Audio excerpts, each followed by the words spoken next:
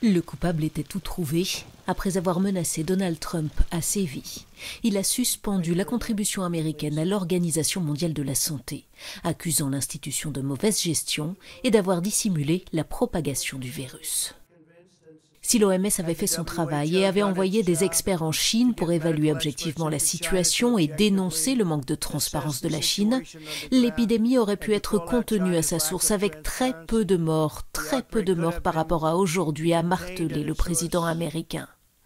Cela aurait sauvé des milliers de vies et aurait empêché les dégâts sur l'économie mondiale. Les États-Unis financent l'OMS à hauteur de 400 millions de dollars annuels, une perte malvenue en ces temps de pandémie. Sous le feu des critiques en pleine campagne électorale, Donald Trump est aussi engagé dans un bras de fer avec le gouverneur de New York.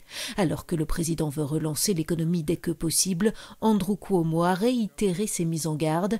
Pas question de lever les restrictions avant que le virus ait considérablement reculé dans l'épicentre new-yorkais.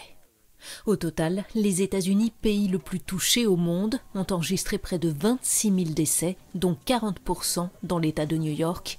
600 000 cas ont jusqu'ici été recensés.